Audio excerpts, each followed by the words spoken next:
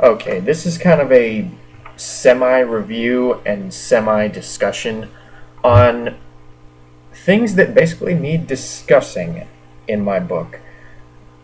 Namely, Final Fantasy XIII, the series.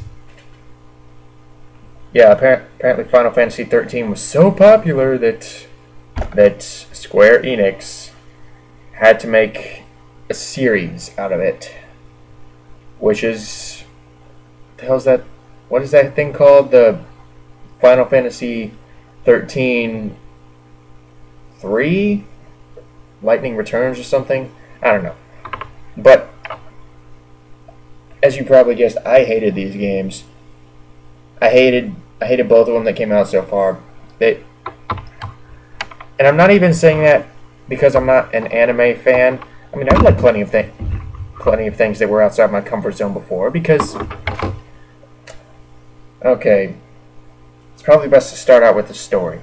The story of the game is, um, or the first game, is the the world of Cocoon, which is a stupid name, but the world of Cocoon is under the iron grip of these uh, um, deities uh, type beings called the fal'Cie.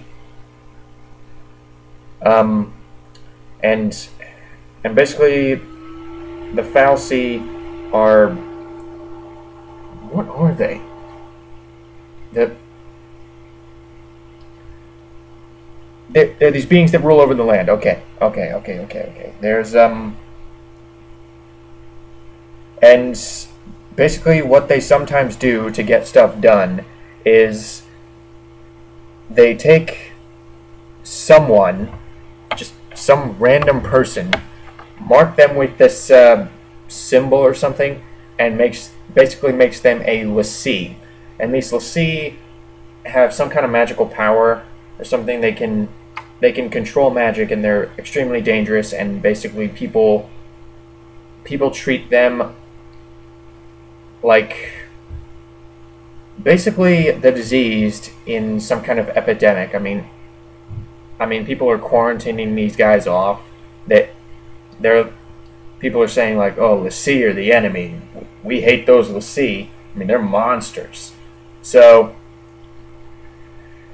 so the the fal'Cie makes l'Cie out of ordinary people in order to accomplish these tasks, and and already I'm thinking, okay, if the fal'Cie are so powerful, why did they need people to do tasks for them? Whatever. And my claim or my question is never really answered. In fact, the game only raises more questions. Like, how does. If you're a l'Cie, how do you know what the fal'Cie wants you to do? Which that's never answered either. I mean, all you're given is kind of like this dream sequence thing that, or this kind of, uh, I think they say hazy glimpse in your, or this vision of, of some location or some creature or some person, and you're supposed to figure out from that what the foul, what the fal'Cie wants you to do. And I'm thinking, you know, if these things are so powerful and so mysterious and so far beyond human understanding, why don't they just tell you what they want? I mean, really, wouldn't that be so much easier? I mean, these fal'Cie, they could, for all they know, they could, they could brand a l'Cie and show them a picture of, uh, of, say, this one of the Capitol building. I mean, that could either mean, that could mean a, a whole slew of things like destroy the Capitol building or defend the Capitol building or or um or just go to the Capitol building or whatever. How are you supposed to know? I mean, how do these l'Cie, how do these fal'Cie expect to get anything done? But I'm getting I'm getting off topic. So so the game revolves around this uh, this group of characters the most significant of which is this kind of female soldier named Lightning, who basically basically her deal is that the fal'Cie made a l'Cie out of her sister Serah, and she's um and she's and she's all pissed off. She she's like, oh, I hate the fal'Cie, blah blah blah blah blah. So um there's Snow, who was the fiance of Serah before before she became a l'Cie, and that and basically he's this resistance leader who's I can only assume they're they're fighting against the fal'Cie because that seems like the most logical thing to fight against. And the fal'Cie have these kind of foot soldiers called PSICOM um, who else? There's Sazh, who's he's oh he's a black guy, so of course he's he's got this huge afro, um, and um, and and he has a little a little uh, a little chick, a little bird next nesting in his hair. Try figuring that one out, but but um, there's him. There's Hope, who, believe it or not, is a guy. I mean, I mean, he's this teenage kid who I don't even know what his deal is. I mean, his mom fell off of the the highway, and and he's all angsty and whiny and sad about it, and he joins them on the quest or, or whatever. There's Vanille, who's really annoying. She just kind of uh, she she just she's always happy I mean, she's, I mean, she never stops making these kind of squeaking monosyllabic phrases what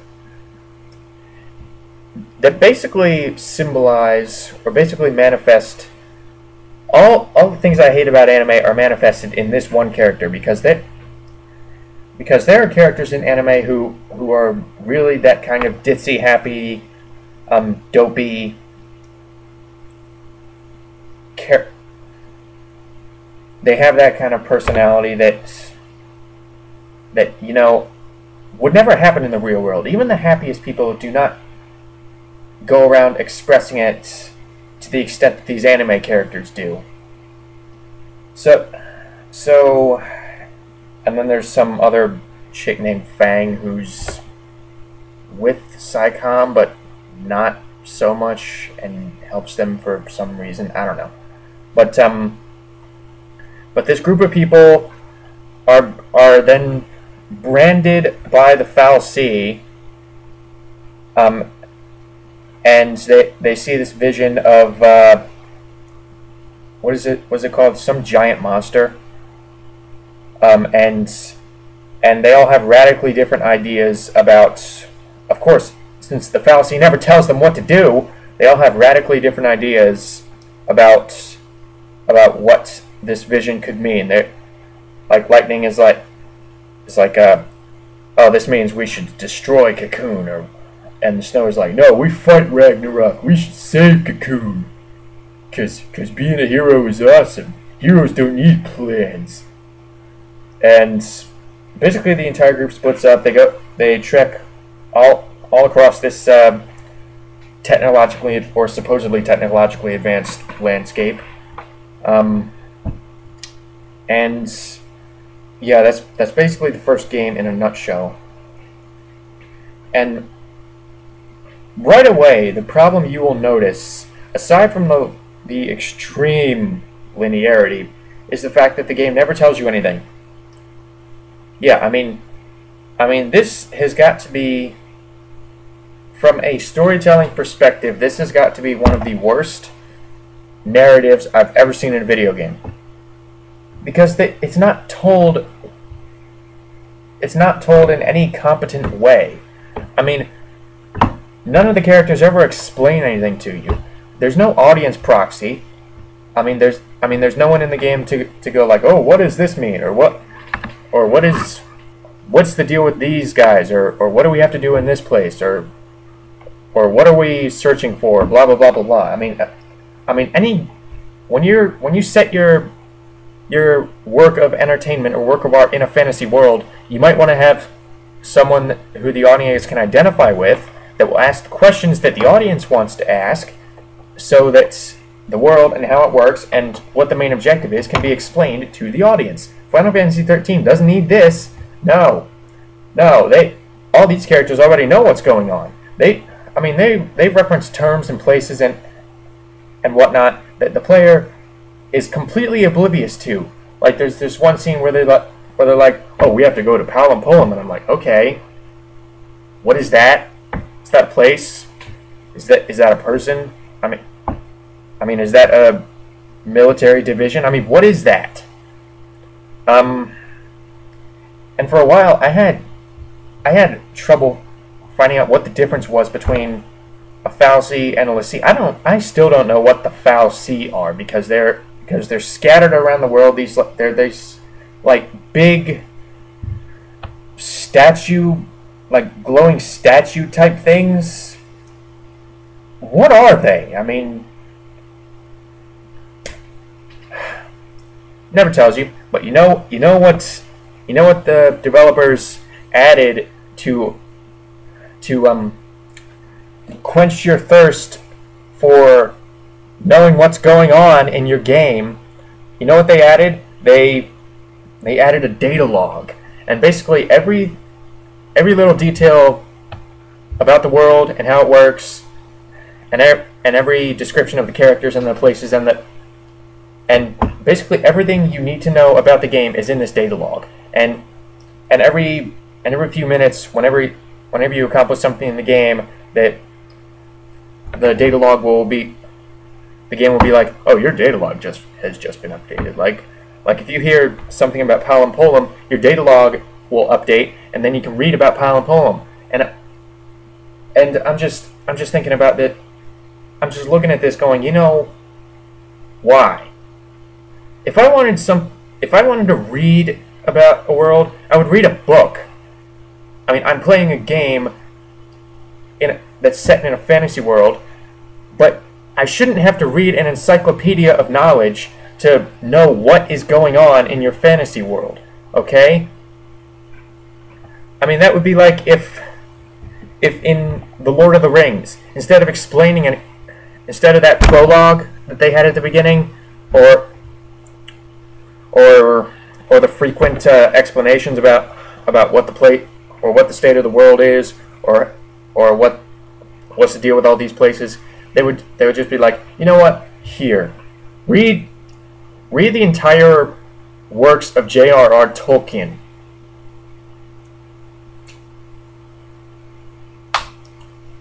That that has got to be the laziest form of storytelling I have ever seen.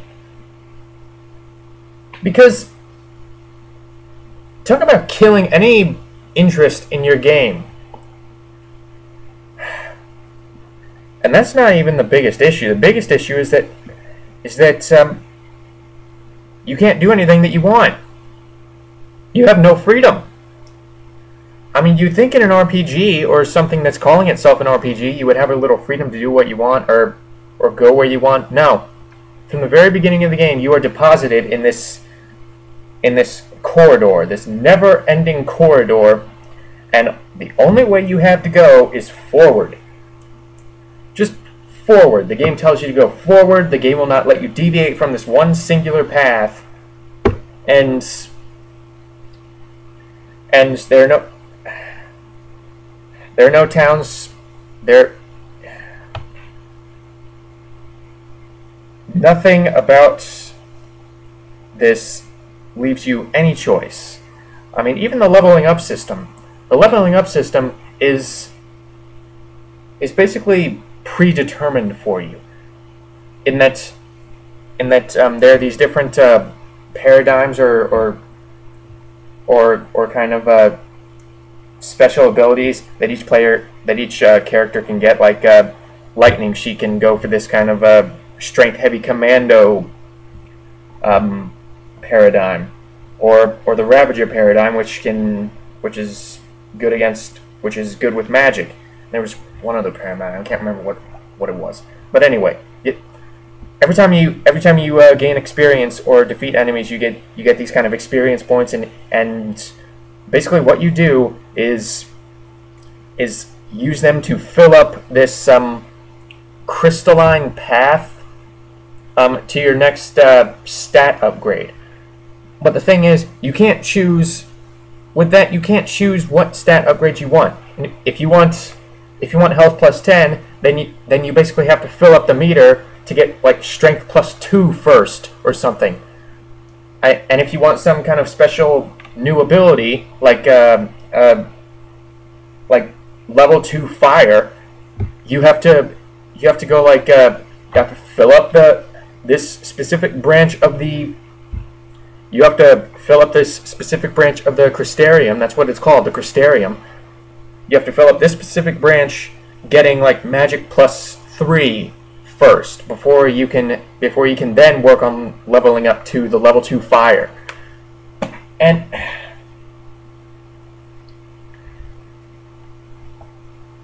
it just eliminates any any semblance of freedom. I mean, why why market your game as an RPG, this this innovative role-playing experience when you don't actually get to do any of it? I mean, you don't get to role-play. You you're stuck in this linear in this in constant linear situation after linear situation. And and I keep saying the word linear, but basically that's what it all comes down to linear.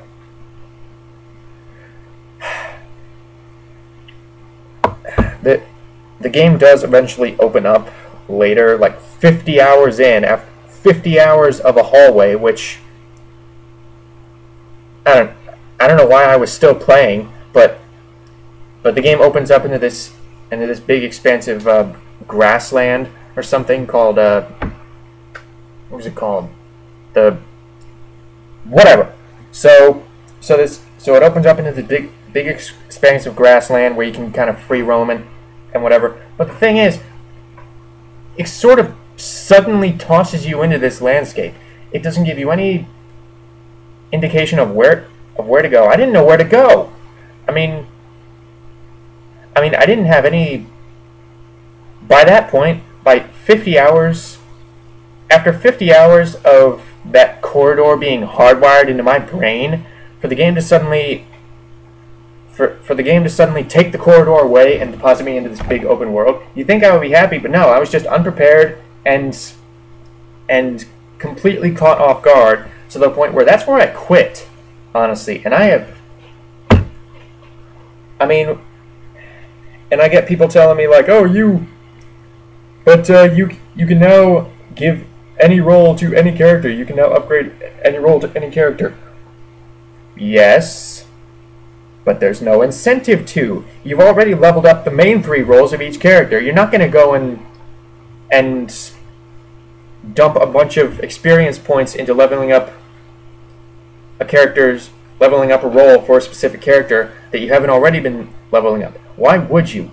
When you've already when you've already specialized heavily in three skill sets. This like um, probably probably seventy percent into the game. Why would you, what what stupidity would come over you to cause you to to all of a sudden forget those three special special skills and start trying to get one character to learn a new one? That defies all logic. I mean, I mean, when when it comes right down to it, I was still leveling up the the other, the three paradigms for each character because there was there was no reason not to. They were already leveled up so high, so I figured, well, I might as well keep doing it. it's phenomenal how how bored I was playing this game because it's a pretty game.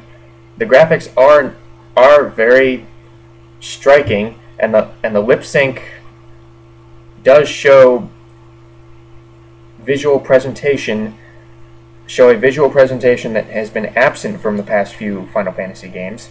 And it and if I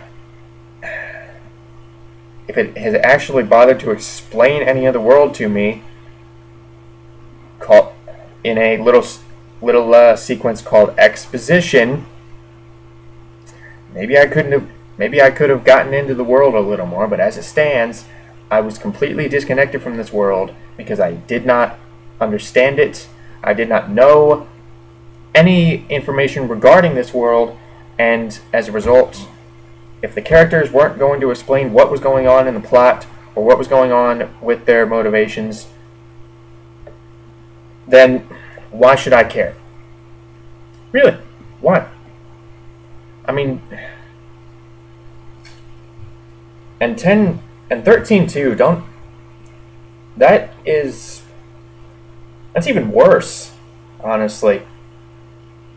Because. Because the story with that one is. Okay. When I first played 13.2, I had not finished the first Final Fantasy 13, so I was so when 13.2 started up, it started throwing all these weird visuals and scenarios at me, some of which used the characters from the previous game. And, but the thing is, they did it with absolutely no recap of how they got there. So as a result, for the first like half an hour, I was completely lost about what was going on. Because the thing is, in the first game, Serah, Lightning's sister, turned to Crystal from completing her focus. That's the task that the fal'Cie set out for her to do. She completed her focus, she turned to Crystal. Which, that's not really much of a reward, but whatever. Whatever. So, so 13-2, turns out she's the hero. She's living in this kind of a Hawaiian-esque um, tropical paradise with, with a bunch of the resistance fighters. I'm like, what? And, and Lightning is in it like a thousand years in the future where she's defending this goddess um, from this new purple armored guy called uh, what was his name? The Caius, who really just comes out of nowhere. And then Lightning, for some reason, gets catches this this one kid named Noel who is falling out of the sky for some reason she catches him and sends him back a thousand years in the past for some reason.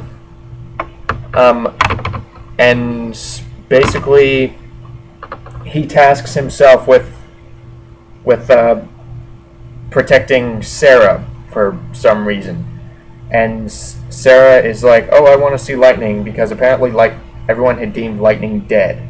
So, so no, there's only two characters, two main characters this time around because so it's Noel and Serah. The thing is, a Serah was.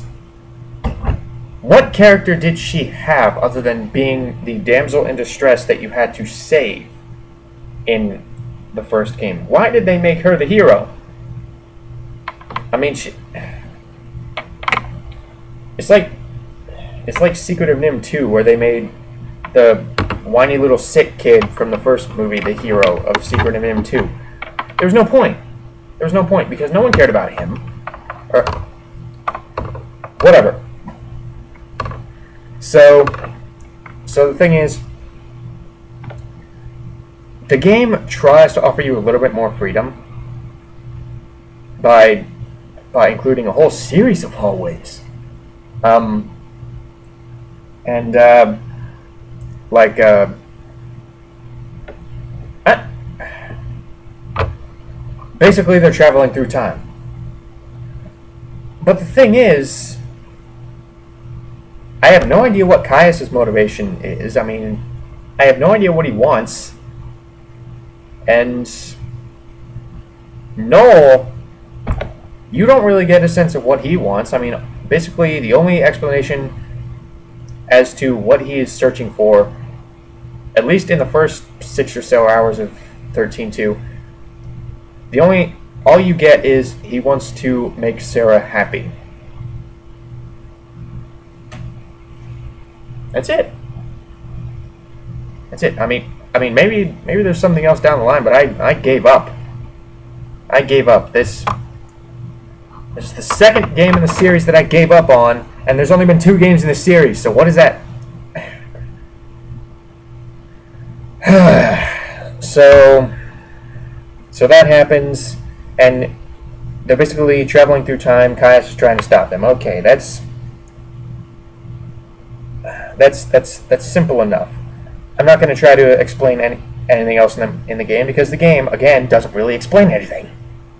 So so that happens. She's lightning is continuing to protect the future goddess, whatever.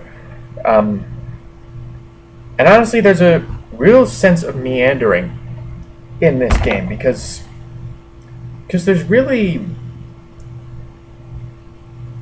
really the entire game centers around Serah and Noel stumbling through the timeline kind of like sliders um, although sliders was traveling through through dimensions what whatever same same difference. It was the same style. The thing, thing was, Sliders was a TV show, not a movie. If they did that in a movie, then then the movie would would feel really off focus. I mean, they would just be they would just be leaping leaping toward these uh, leaping through these different different dimensions with a different goal in each dimension, or or something like that. It works it works if you're telling it in an episodic fashion. And I can definitely see putting it in a game, but the thing is, you don't really spend enough time in any one time period to know, to get a, a real understanding of it. And they seem to be taking themselves less seriously this time around and when it when it comes to the story and the writing because they put Moogles back into the game. Moogles, those little, uh, those little uh, chicken-looking things, the the the little plush toy-looking uh, creatures that that float around and that are basically that are basically put in the game for cuteness. And yeah, not really much else. I mean, it complete. I mean, Serah has this little Moogle that that follows her around. I don't know where she got it, but she she just has this Moogle now. Um, but the thing is, it completely takes you out of the game every time this this Moogle shows up. I mean, this talk about breaking any mood in your game when you when you just have this this little this little creature, this little magical creature making these squeaky sounds after every sentence. That is ridiculous. And they're trying to tell a serious story with this thing floating around in the background.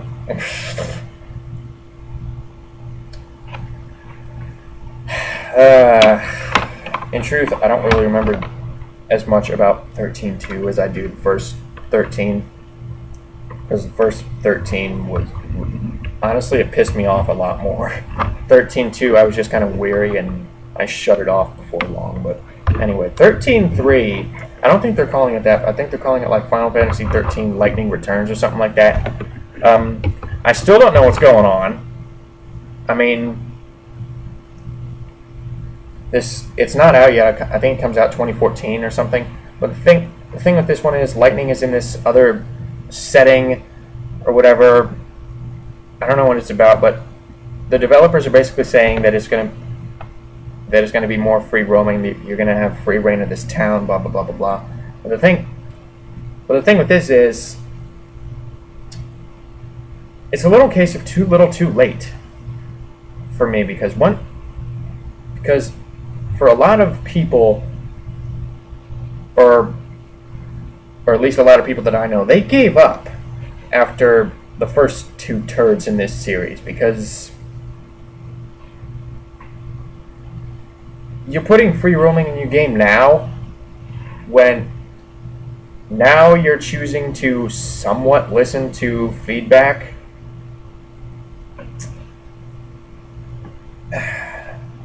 I mean, how you take this. Apparently, it's still going to involve paradigms, yay. I mean, I, I never really found a use out of them. Just keep mashing the button.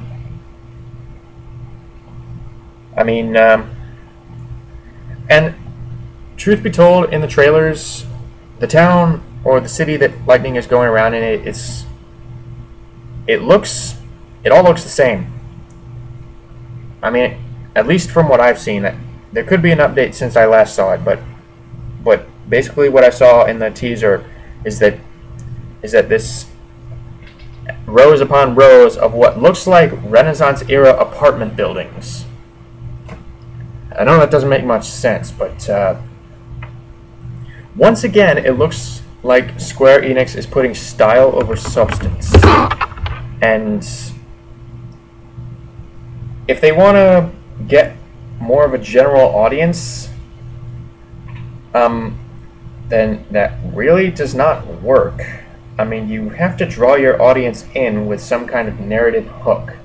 And so far in this in this week week week 13 series, can't believe I'm even calling it a series, but so far in this in this series, you have not given that. You have just been you've just set up this world but in the process you've completely alienated your audience.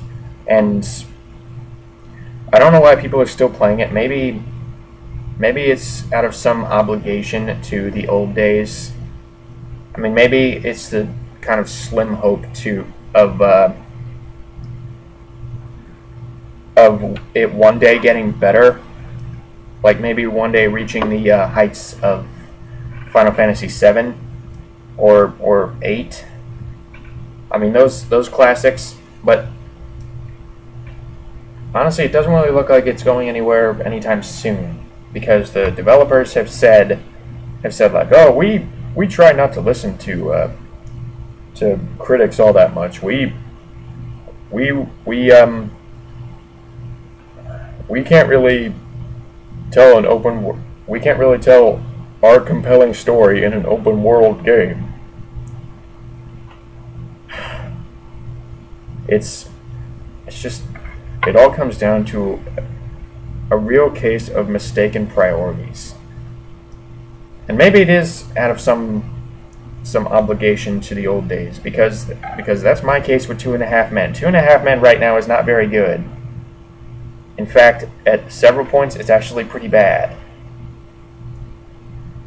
I mean, uh, but I still watch it out of some because I liked the old show and I kind of feel obligated. Doesn't really make much sense if you're not a fan, but it's yeah, it's I think I've basically said my two cents on Final Fantasy 13 and I hope it gets better. I mean, I'm not out to hate these games. I'm but I just I just I just hate hate them so far, which is a real shame. I mean, when Square Enix, the best thing they've done in recent years is Kingdom Hearts, and even that, and even that has is kind of deteriorating in their uh, attempts to lead up to Kingdom Hearts three.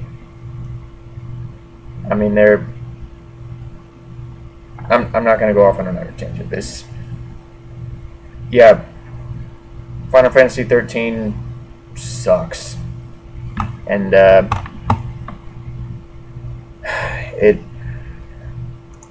the series is dying, man. It's, it's dying.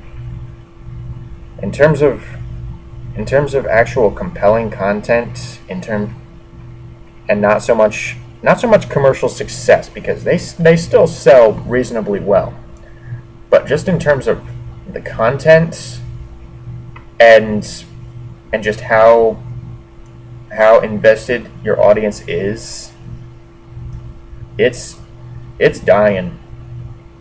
I mean, it's yeah, it's it's actually kind of painful to watch. Um, to see this once great series fall from grace. I mean, that's like Hemingway level depression. Wow. But I guess there's always the possibility it, it could get better, but they need they need a serious revamp. I mean, if they they need to make some major changes if Final Fantasy is gonna last. Um. Yeah. Yeah, Final Fantasy.